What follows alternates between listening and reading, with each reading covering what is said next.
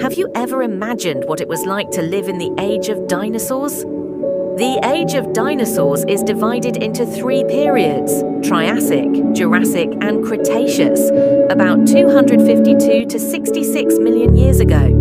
The Earth was much hotter, and there was no polar ice.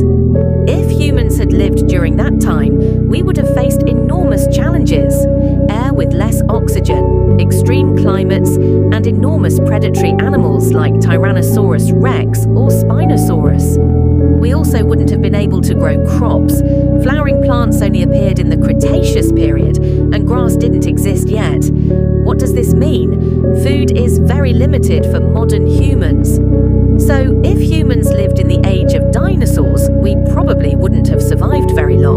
But through fossils and paleontology, we can still learn from the past without having to face it head on.